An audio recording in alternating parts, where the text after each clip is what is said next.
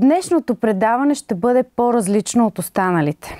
Миналата седмица в рубриката Дневникът на една бременна ви споделих, че е време да направя своето проучване за неинвазивни пренатални тестове, защото ми предстоеше фетална морфология плюс биохимичен скрининг и имах своите притеснения. А, търсих в интернет, попитах майки, консултирах се с двамата лекара, които следят моята бременност и в крайна сметка си избрах конкретен неинвазивен пренатален тест на една конкретна фирма.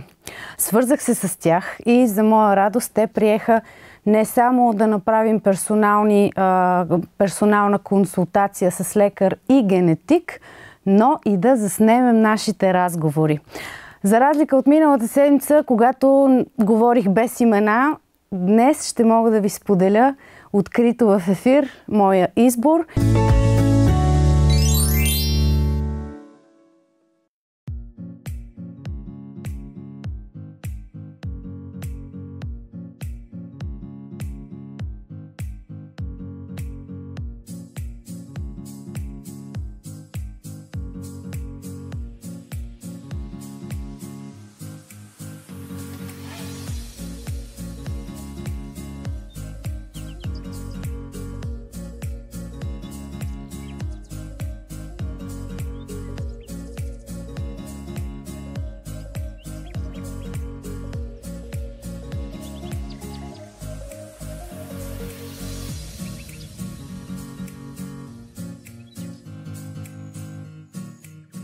При мен е доктор Цветелина Великова или по-скоро аз съм при нея. Тя е имунолог и медицински директор на Синево, България.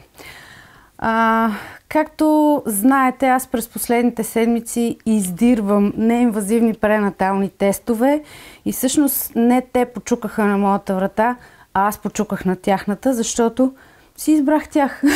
и днес съм тук при нея, за да можем да обсъдим а, кой тест да си избера, защо да си избера него и малко повече информация. Така че започвам с въпросите. Здравейте, как сте? Здравейте, благодаря, добре. Много добре се дошли. радвам, че сме тук при вас и ще си поговорим на тази тема, защото сигурна съм, много зрителки са в моята ситуация, търсят си тест, не знаят какво да изберат, не знаят какво да направят и се надявам да бъдем полезни в тази гледна точка за да вземат и те своя избор. Така, кои са препоръчителните кръвни изследвания, които всяка една жена бременна трябва да направи, като започнем от самото начало?